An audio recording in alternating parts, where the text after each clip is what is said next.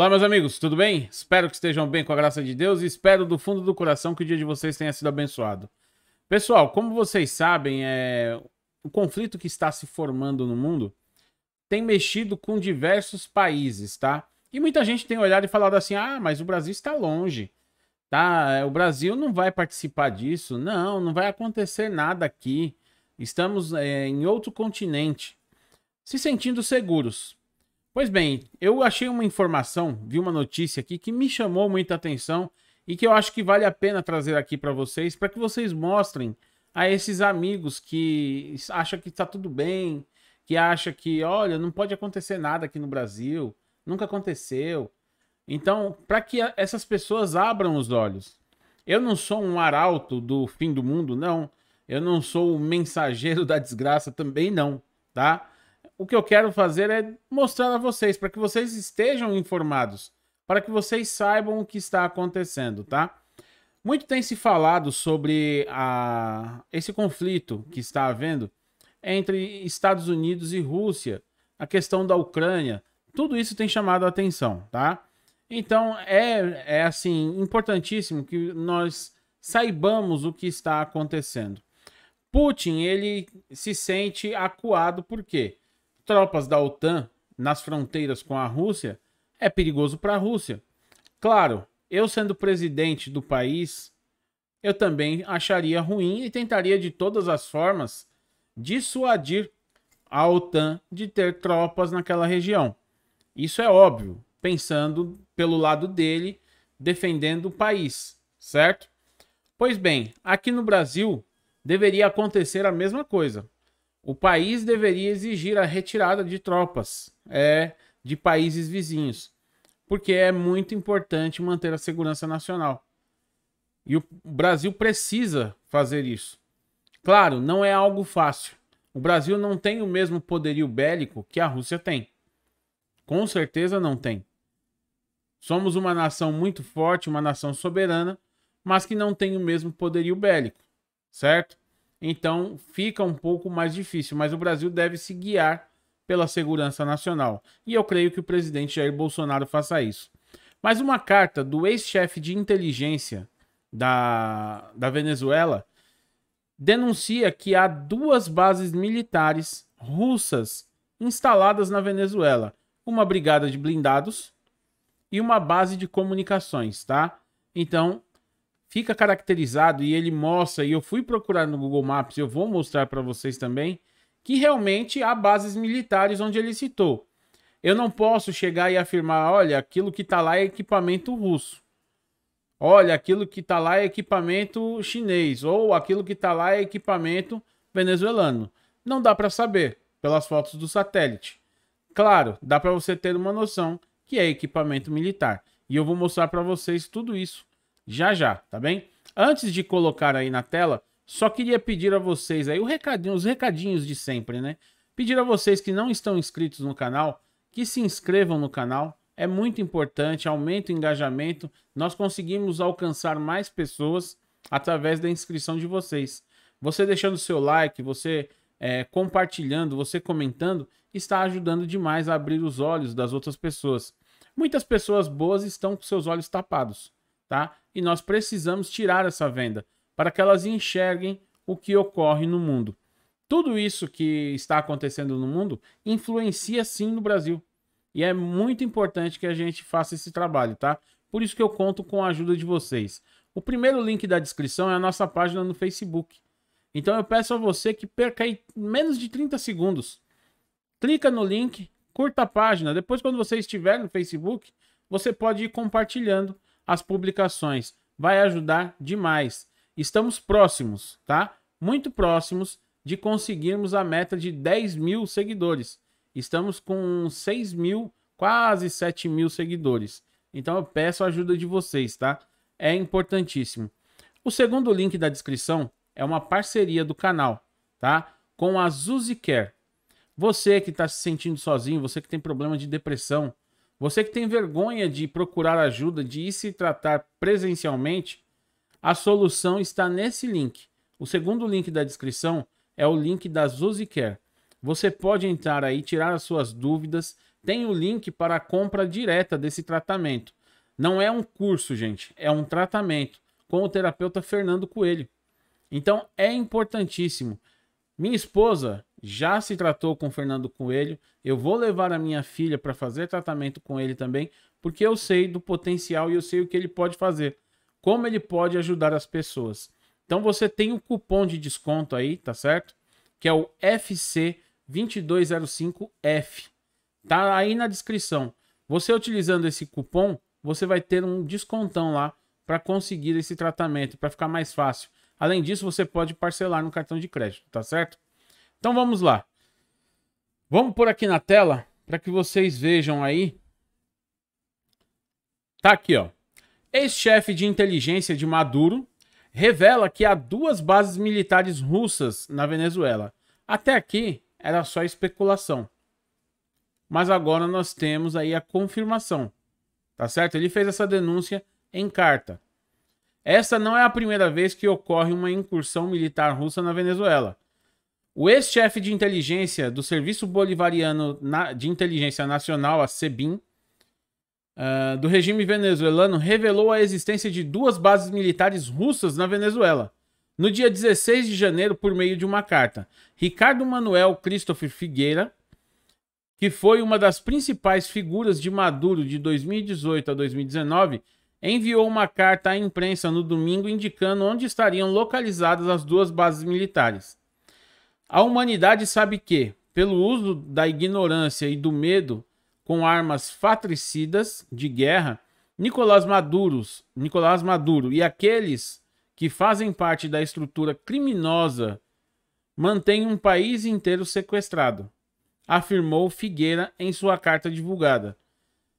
E destacou que tal é a entrega de soberania pelo regime venezuelano que o governo russo, é, no quadro de negociação geopolítica global diante da crise na Ucrânia, gerada pela Rússia para deter suposto avanço da OTAN em territórios da Europa Ocidental, ameaçou aumentar a infraestrutura e meios militares de alto nível na Venezuela.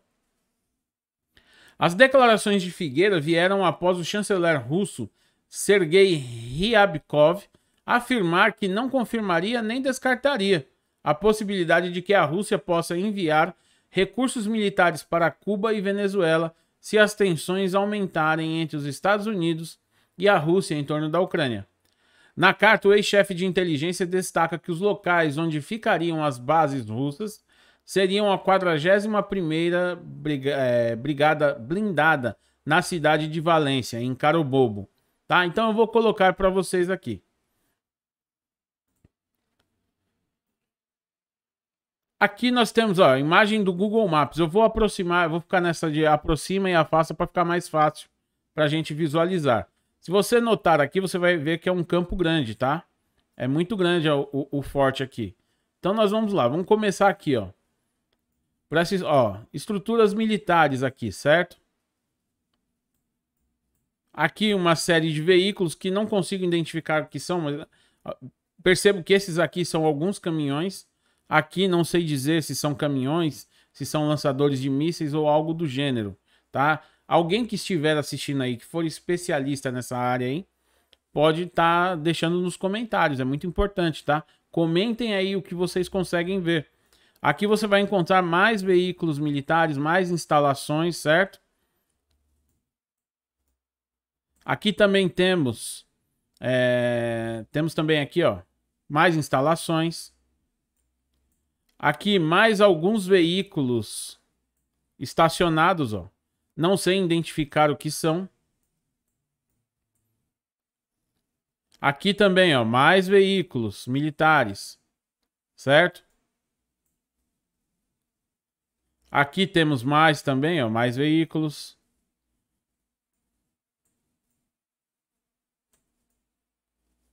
É aqui, vamos. É que eu, eu tenho que afastar para conseguir visualizar que a tela ficou muito pequena, tá? Você vai ver que aqui, ó, toda essa parte aqui são instalações é, militares, ó, Forte Parama, Paramacai, tá? Aqui temos mais instalações e aí vai ficando mais interessante, ó. Mais veículos espalhados aqui, ó. tá? Não dá para identificar exatamente que tipo, qual veículo que é, mas você percebe que são grandes. Aqui é, eu acho bem interessante o que me parece serem blindados, parecem ser tanques. Não sei afirmar se são, não posso afirmar porque vocês veem que a resolução da tela não fica boa, a resolução da imagem, certo? A imagem do satélite não fica, não deixa totalmente claro que são, mas aqui, ó, você vê mais veículos, ó. Aqui sim, dá para identificar que são caminhões, tá? Provavelmente caminhões de transporte de tropas, de carga. Aqui mais, ó, mais veículos encostados aqui, ó. Aqui nós temos o que eu acho que são mais blindados, tá? Que me parece mais aqui, ó. 1, 2, 3, 4, 5, 6, 7, 8, 9, 10, 11, 12, 13, 14, 15, 16, 17, 18, 19, 20 veículos. Pelo menos é o que aparenta. Não dá para ter, ter certeza absoluta, tá? Você vai encontrar mais aqui, ó, mais coisas parecendo, aparentando veículos, tá? Veículos blindados. Que tem veículos militares e é uma base militar, tá vendo? Ó? São veículos grandes. Você vai ver até pela legenda aqui. Ó, mais instalações, mais veículos. Você vê que é grande, ó. Aqui um ambulatório militar, ó. De Paramacai.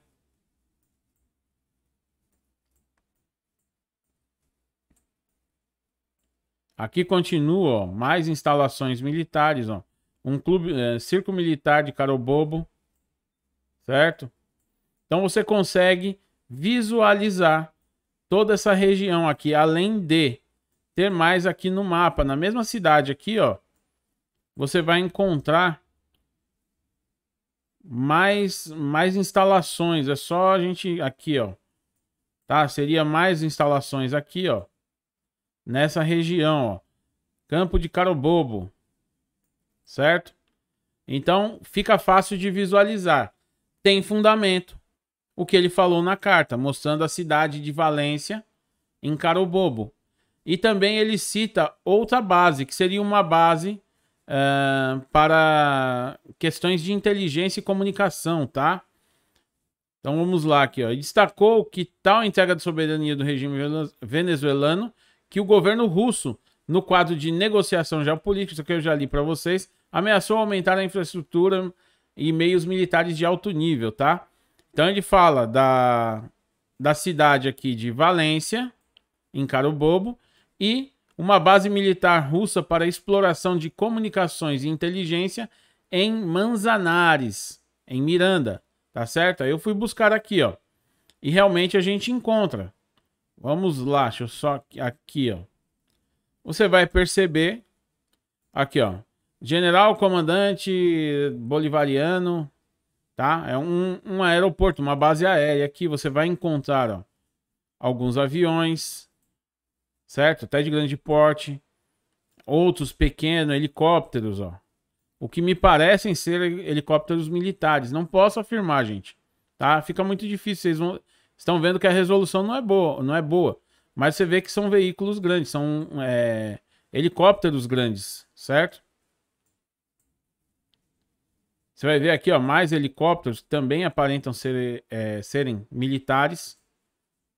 Aqui aviões de grande porte, ó, certo? E tem alguma, tem uma estrutura aqui que me chamou bastante a atenção. Deixa eu achar ela aqui.